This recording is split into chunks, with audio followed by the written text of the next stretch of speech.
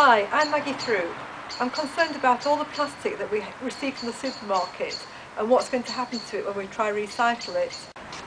And that's why I'm calling upon the supermarkets such as Tesco's and Sainsbury's to show corporate responsibility and help us recycle our plastics. It shouldn't just be up to the, the individuals, but the big supermarkets need to play their part in recycling all the plastics that they put out in their stores for us to buy.